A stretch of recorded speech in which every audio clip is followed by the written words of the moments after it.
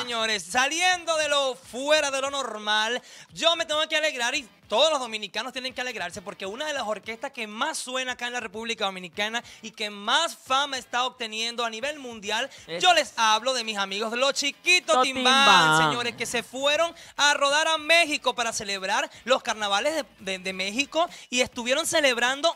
Mira, señores, una fiesta en grande. Yo quiero que ustedes los vean, así que, señor director. Mientras, habla, mientras habla, vamos a ver el video.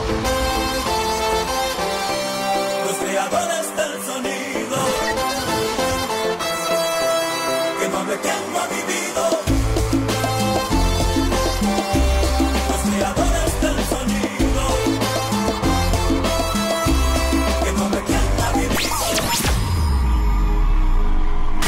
Talento musical nace en República Dominicana. No existen barreras que detengan esta industria salsera.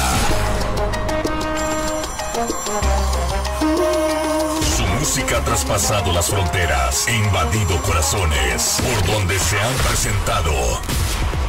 Denominados por muchos como la industria salsera.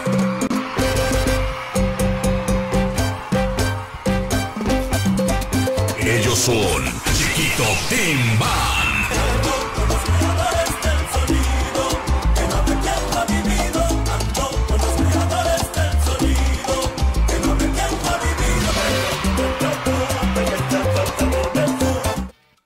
Mira, te Ajá, cuento, Nando. ajá, ajá. Te cuento, Nando, que yo no soy, yo no soy amante de los salseros, pero sí de la salsa. Y yo te digo algo, yo cada vez que escucho Chiquito Timbán, la banda como tal, a mí, mira, a mí se me coloca la piel de gallina, porque realmente ellos transmiten una energía que tú dices, esto es un artista. Y yo comparto contigo, yo comparto contigo Yo pensaba que me- eso me ocurría nada más que con tu artista, que cada ratito lo mencionas, Mar Anthony, pero Chiquito Timbán es una banda súper sensacional. Yo tuve la oportunidad hace ya dos, tres años de conocer a la banda como tal, a Chiquito Timbán, en los premios soberanos, en aquel momento estábamos como programa invitado, y ellos se sentaron y yo, Dios mío, qué bien, la energía, la presencia en escena, cómo ellos se visten, como lo que transmiten de realmente, y me causa mucha alegría que el dominicano esté brillando no nada más aquí en República Dominicana, sino también en México. Una industria muy difícil, porque para nadie es un secreto que entrar a México es muy difícil y que ellos sean reconocidos, de verdad que un aplauso para ellos. Mira, matrimonio, bautizo, cumpleaños, divorcio. ¿Quién no baila una canción de Chiquito Timbán? Es que esta orquesta dominicana nos tiene acostumbrado a, dar- a darnos buena música y cada vez que sacan un tema lo pegan y es porque es éxito tras éxito. Esta orquesta a mí me fascina, a mí me encantaría estar por lo menos un día cantando con Chiquito Timbán. Te corrijo, ¿quién no baila chiquito Timbán? Julito porque no baila salsa, Mello porque tiene los pies izquierdos, pero el resto del mundo sí baila.